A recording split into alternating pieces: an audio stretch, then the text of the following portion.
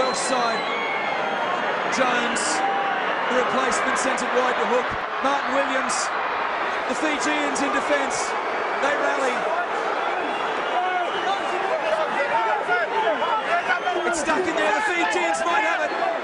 Once again, the turnover. Time is up. That's it.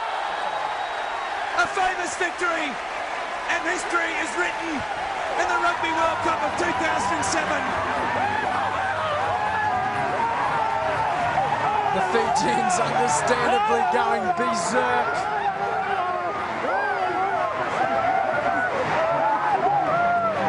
Triumph and tragedy all in the one breath. They made the quarterfinals back in 1987, 20 years down the track. Ilia Tabua's flying Fijians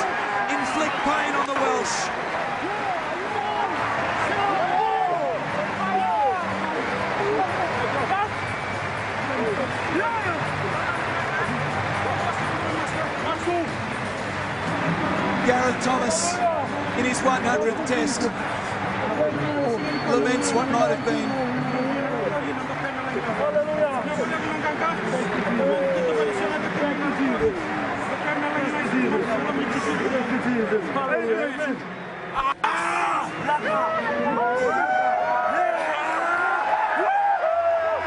Whatever was said, I think it translates to you, little beauty. There were tears before the match. There will be tears after the match.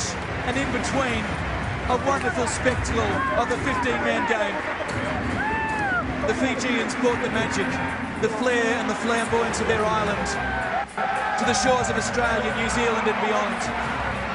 And the Welsh, such a proud rugby nation, go home disappointed.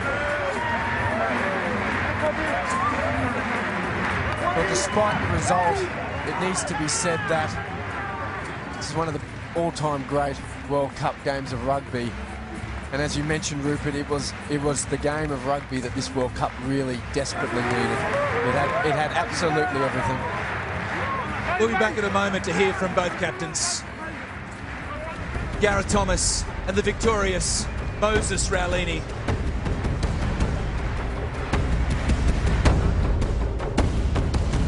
In this case, it wasn't. How many swings were there in that match? It was like a circus and a roller coaster combined into one.